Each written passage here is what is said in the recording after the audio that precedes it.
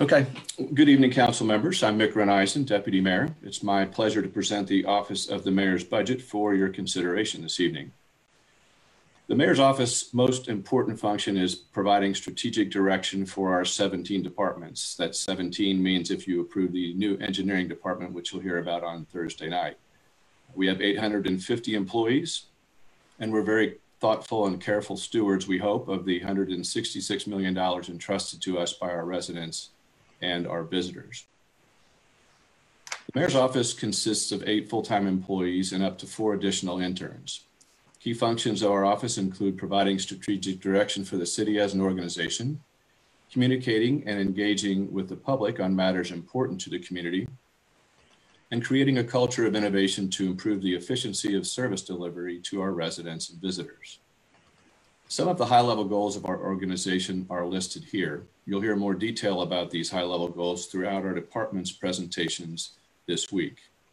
I do want to point out that the graphic on this slide and many of the additional graphics used at all city facilities and on social media, particularly during the pandemic, were created by Andrew Krebs, the digital communications spe specialist in the mayor's office.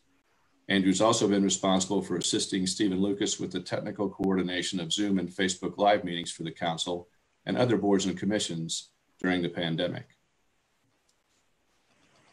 Moving to some updates on our 2020 goals.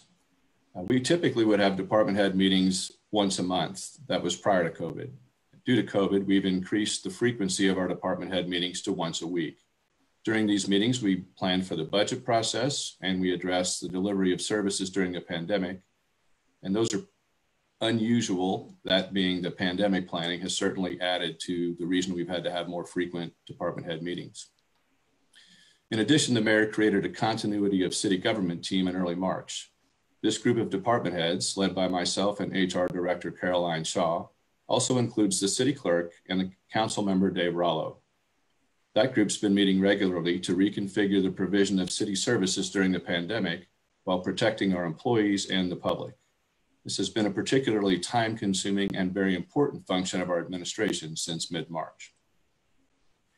One of our major initiatives, and has been for several years and will continue to be for the, the foreseeable future, is the Hospital Reuse Project.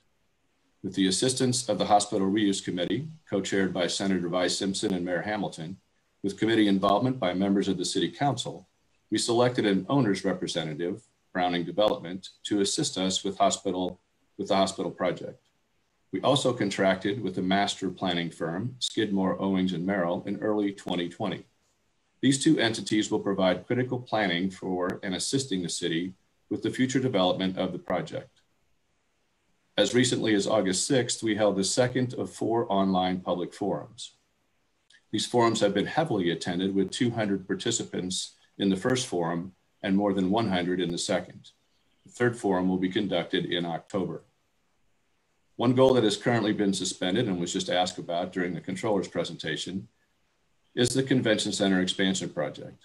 While that project is on hold, $2 million in funds collected from the food and beverage tax have been repurposed to help local businesses recover the impacts of COVID related limitations.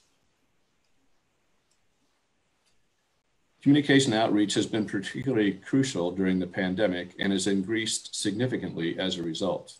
Our communication staff, Director Yael Ksander and the aforementioned Andrew Krebs, produce press releases, website and social media updates, news conferences, and Facebook Live sessions to provide the public with timely information on city initiatives.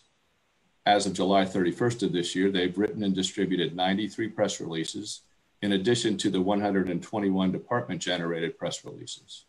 They've also written, produced, and distributed 99 speeches, remarks, and videos by Mayor, Mayor Hamilton, most of which are now on the city's website.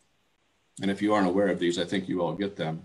Uh, the mayor is at least three times a week communicating via uh, these, these now um, uh, YouTube videos, messages to both our employees and the public uh, during the COVID pandemic.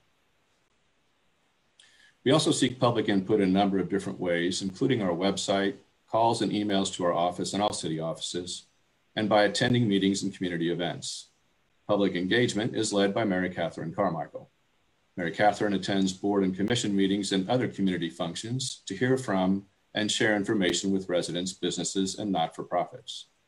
Particularly important this year has been our engagement with Indiana University, IU Health, and the county as we all respond to managing the impact of COVID on our community.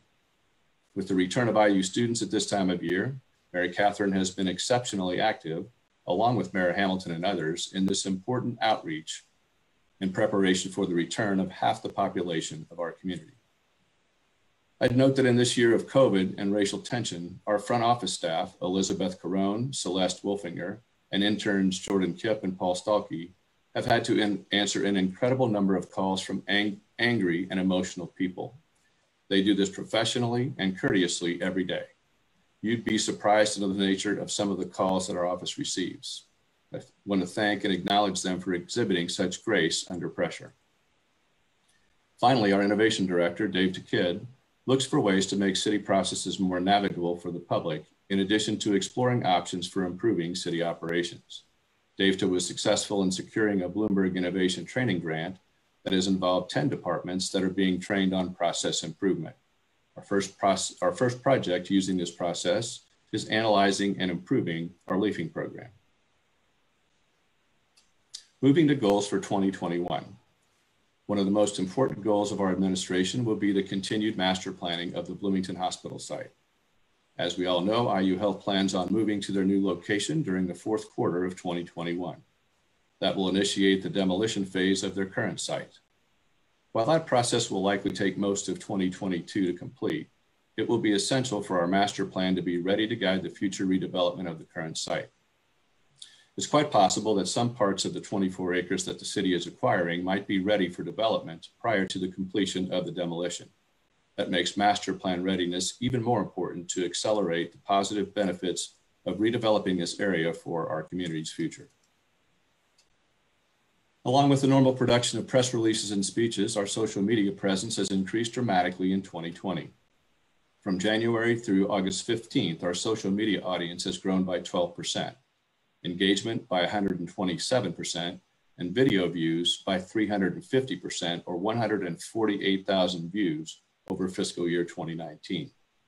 Our comments volume has increased by 182% for a total of 6,200 and messages increased by 464% for a total of 2,940 for the same period above. Based on those metrics, our two social media goals for 2021 will assist us in being responsive to our community's feedback via our social media platforms. One of the more impactful ways we hear from our community is the Every Other Year Community Survey, which we've conducted in 2017 and 2019, and will again in quarter one of 2021. This statistically valid survey, randomly sent to thousands of households in our community, provides our administration with information that guides the deployment of resources and informs us of resident concerns with the delivery of city services. Moving to innovation, we're just now beginning to use what we've learned from our Bloomberg training initiative to reform our leafing program. One of the impacts of COVID was the suspension of this initiative from March through August of this year. Now that it's resumed, we'll complete the full nine month training cohort and use newly learned skills to tackle community challenges. We'll be undertaking a modified version of the leafing program in late 2020 and early 2021 in the form of a pilot program with two neighborhoods that have volunteered.